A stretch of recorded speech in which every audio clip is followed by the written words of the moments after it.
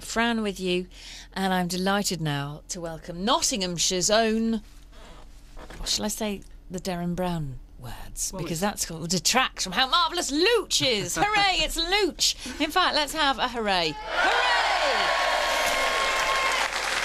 Hello, Looch. Hello. That's how you like to be known. It is. Yes. Uh, it's quite something though to be compared to Derren Brown because he is awesome. He certainly is. But you strive to be as awesome. Let's get you in front of a microphone. That one will be great. yeah, one okay? lovely. You were in between two there. Even I couldn't manage to uh, bring that one, bring that one off. Um, and you do perfect similar sort of techniques to you as him. Yeah, I mean, I say uh, that I'm a mind reader and an entertainer. Um, a while back, I was almost on a mission to sort of say that it's not psychic, it's not a magician. I didn't want to pigeonhole it. So, but now, I suppose, as I've grown into it, it's more to do with just entertaining. So, if I appear to read your mind, I'm going to let you make your own judgments on that. Ah, uh, as long as you enjoyed okay. it, that's the main thing. Do you know you have to be care- so careful these days about what you can claim in your advertising. If you say you're a mind reader, the Advertising Standards Authority might be on you. That is true, but then again, they would have to disprove that I am actually reading their mind. They when would. They can't do that. Well, we could all have a go at trying. But can try. What you're going to do is try to prove that you have some kind of powers, whether that's a power of your intellect Mm-hmm. or our mental transparency, is for you listening to decide. I do know from experience, though, that you are going to be impressed by what you hear. Just before we do something to illustrate what your skills are, Looch, this is something that you don't just pick up by reading a how to book overnight. It's No. something you've worked at for years, isn't it? It is. I mean, I first got into this when I was about 15 years old. Um, and I got in through the traditional magic route. So I was in Florida and I saw a, uh, a sleight of hand magician who was doing a trick and he was also selling his books. So he, he obviously must have written up every trick that he came up with and selling them to try and make a, bit of money on the side. Uh, he showed me a trick which involved him displaying, I think it was a dime, an American silver coin. Uh, he blatantly showed his other hand as empty, and instantly those the little dime turned into two large coins in front of my eyes. It was the t- first time I'd seen anything to do with magic, traditional magic, up close in, in person, as opposed to seeing it on the TV, where anything could happen. There could be editing or or mirrors, and you know we all we always hear those stories. But it was the first time I saw something up up close, and it fascinated me. Not so much the trick, but the misdirection. Him getting me to look at certain parts whilst he did the sneaky stuff, uh, and I was really interested in being able to sort of not manipulate, but let's say psychologically direct your attention um, and controlling certain elements so you can get away with other things. That was my into this this kind of entertainment, I suppose. Auto suggestion, that's something that we've become aware of, that little phrase auto suggestion, haven't we? Through people like Derren Brown. Yes, um, You plant ideas, plant little thoughts and images in our minds, and we don't even know you're doing it. no, uh, and that's what I'm going to attempt to do with you in a few moments, actually. Okay, I'll try not to to. resist it too much. the problem is you can be too aware of things. It's like being hypnotised. That you know, is you- true. That you is can be very, too very aware of true. it, can't you? So in a way, we've probably um, we've probably spoiled it a bit now already. Well, maybe so, but we'll, we'll go. I mean, should we do it now? Should we, should Oh, we give go it a on then, go on. Okay, so what this is about uh, for me is being able to find um, different ways of actually coming up um, with visual demonstrations. Uh, and the demonstration that I've got is based around colour.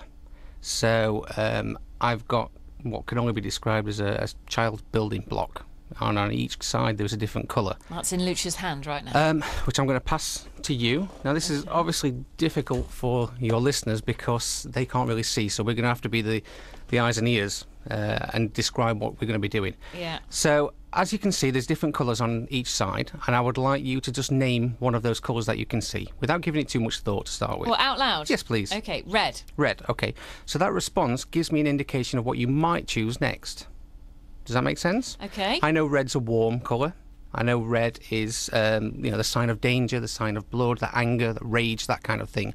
So if I ask you to choose another colour, which I'm going to in a moment, not just yet, um, and the way we're going to do this, I'm going to ask you to look at the cube and decide on one colour, and then you place it on your desk with the colour on top. Okay. Okay. Uh, I've got a little handkerchief. If you can just cover the colour up, obviously, so I can't see what colour you've gone for. And I'm, I'm sat across from the desk, so there's no way I could see as well. Uh, and if you want, I can turn away. So I'm turning the colour to the top. Yeah, just cover it up so no one can see, especially not me. All right then. Bear in mind you went with red to start with. Mm-hmm. Have you selected a color? Can I colour? change my mind? You certainly can. All right, I've changed it. Okay. So you went red to start with, yeah? Yes. Now red, like I said, is a warm colour. So I'd expect you now to choose the opposite, a cool, a cold colour. So I think you would probably go for blue, That's brilliant. I had I had yellow and then I changed it to blue. which is yellow is another warm colour, but it's not quite as committed. It's somewhere in the middle. Yeah, I thought you were expecting me to choose another warm colour, and I thought mm-hmm. yellow was warmer than blue. That then I, so then I changed it to blue. You see, Ah, thinking well. I'd trick you. Well, let's go again. I mean, I could have guessed. It's a one in six chance. So you've gone red to start with, then blue. Yeah. So let's go with a different colour. Okay, this is a. You this can go A, blue again if you want to. Oh, right. Red don't again? let me influence you.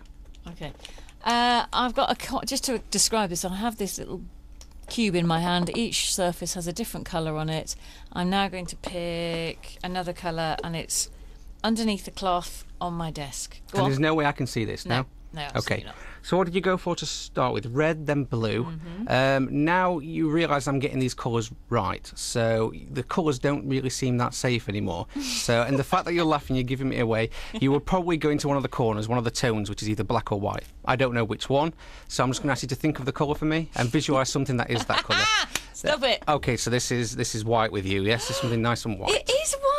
Perfect. Come on, what did I give away that meant it wasn't black? Well, if I tell you, then you'll be able to go out and do this, and it'll kind of make me unemployed. So uh, I can't really tell you that. Oh, Looch. Go on then. One more time. Go on, one more time. One time. more time, okay? And are Blue then white. that I can repeat any of these colours? Any colour you want, and I will attempt to not only influence, but I'll attempt to sort of get in your head and make that decision for you. Okay. Okay? Do you have a colour in mind? Yes. Yes. Okay. Think of something that is that color Mm-hmm. Okay. You have something. Yep. Um, you like to be outside, don't you? You're a, a bit of a country girl, so you'd probably go with something the colour of nature. I would say green. I How guess. did you do that? That is green. Let's have a hooray. Woo! That was amazing.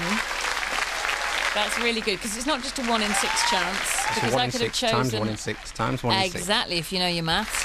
Very, very good. Now, Looch is looking for one of you, you, to experiment on. Nottingham 9343434. Do you want to do something like I've just done with Looch? Of course you do.